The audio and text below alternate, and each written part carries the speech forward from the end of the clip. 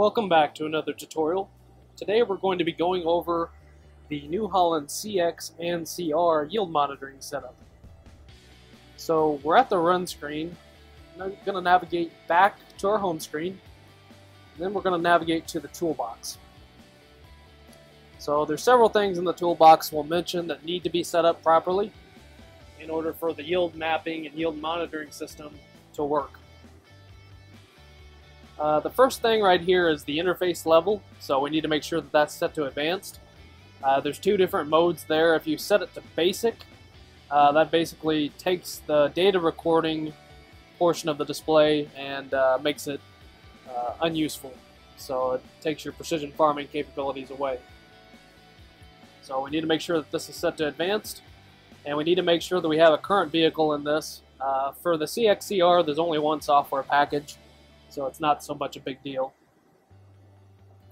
Toolbox operator, we need to make sure that we have an operator, make sure that we have the correct units as well.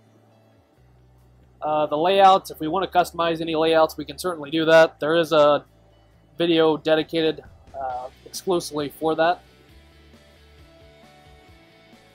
Toolbox video, and we can use that for setting up video cameras on the combine. So if we want, for instance, one on the grain tank and one on the loading auger and then one for the reverse side of the machine, we can certainly do that. And that gives us options for up to three inputs. Uh, moving on down, we'll go into drive here. Uh, looks like everything's correct there.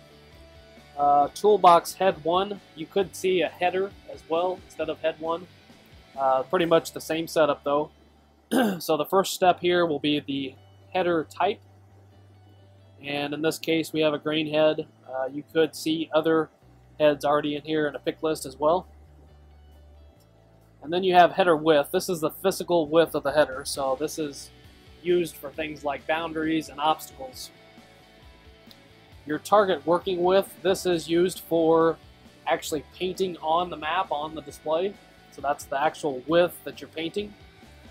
Your width adjust step is the amount of feet that you adjust your target working with. So if you wanted to adjust it uh, to increase or decrease, uh, you can certainly do that. That's mainly for areas that have already been previously harvested, and that affects your mapping header center offset, you would take the center line of the feeder house and the center line of the head and calculate the difference. If you have a right offset, that would be a positive value. If you have a left offset, that would be a negative value.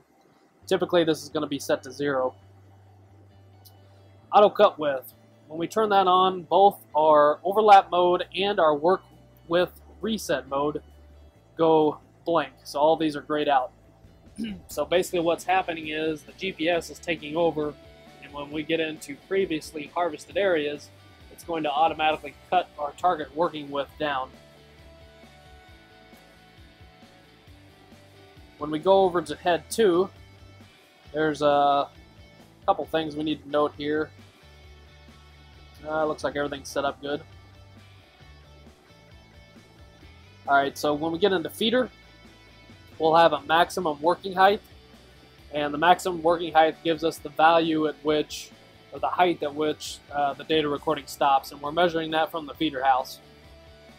so what we would do in this case is we would go into here, we would raise or lower the feeder house. So if we raise the feeder house or lower the feeder house, you'll see that number change. And once that number change, you'll set it and then hit enter and you've determine the maximum working height of the, the height at which all of the data recording stops. This needs to be calibrated per crop type. Uh, moving on down, GPS, we need to make sure that we have GPS set up. We can have autonomous, it doesn't have to be differential GPS. PF tab, we need to make sure that the season setup date is correct.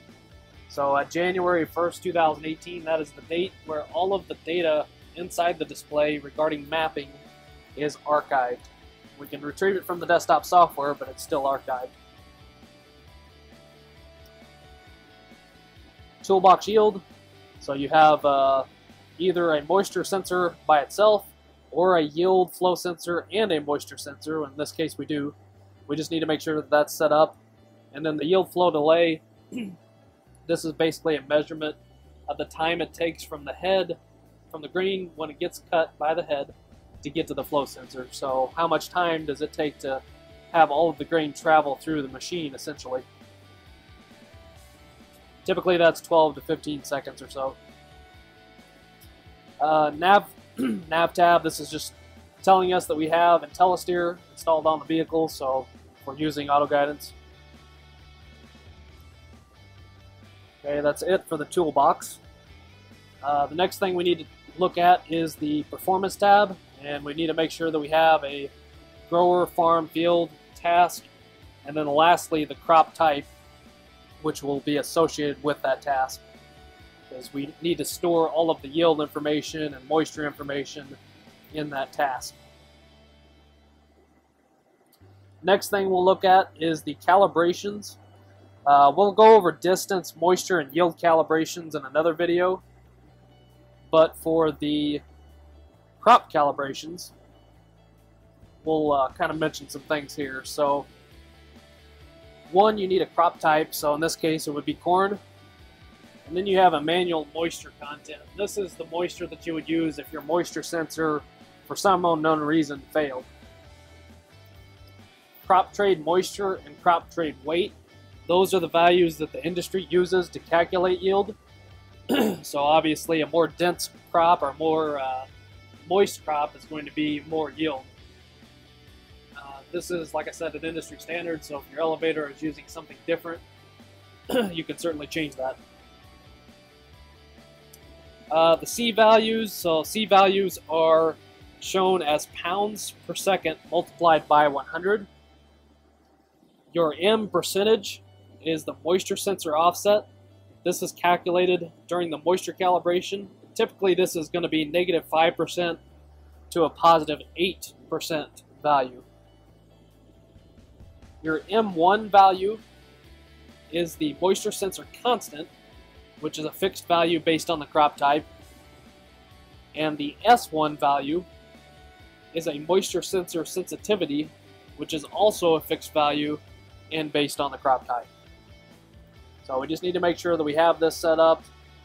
And once we do, we can certainly go to the distance, moisture, and yield calibration, which we'll cover in another video. So this wraps up the basic yield monitoring setup for a New Holland CX or CR combine. Thank you.